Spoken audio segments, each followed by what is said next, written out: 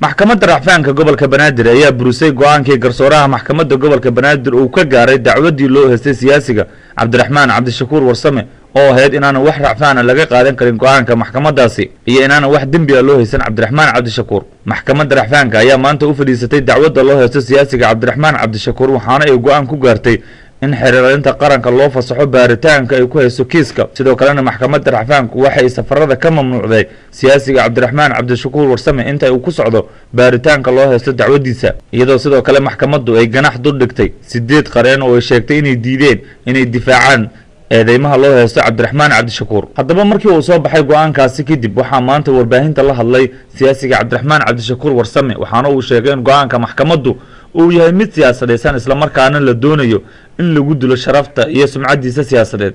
Waxaan hore u caddeeyey in dacwad uu xeraaliyuhu ka furay maxkamadda rafcaanka ay tahay mid siyaasadaysan oo la doonayo in lagu xanibo dhaqdhaqaaqayga siyaasadeed laguna dhaawaco magacayga iyo sumcaddeyda si loo hanjabiyo hamigayga siyaasadeed kadib markii uu fashilmay laygu qaarajin lahaa toddobiyo tobankii disembar ee sannadkii ina dhaafay.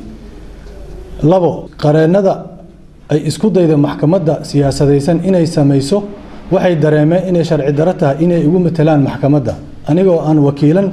Sidaa daraaddeed ay diideen inay difaacaan waana maragmadoonta ujeeddada maxkamadda. Mar haddii ciqaab wadareed ay ku xukuntay dhammaan garyaqaanadaas ama qareennadaas saddex waxaa sharci daro ah in mar kale xorriyaddeydii uu isiiyey dastuurka wax loogu dhimo hirgelinta dana siyaasadeed oo ay leeyihiin madaxda xaafiisyada villa soomaaliya gaar ahaan madaxweynaha iyo ra'iisul wasaaraha. Afar waxaa fajacya ama kaag ah.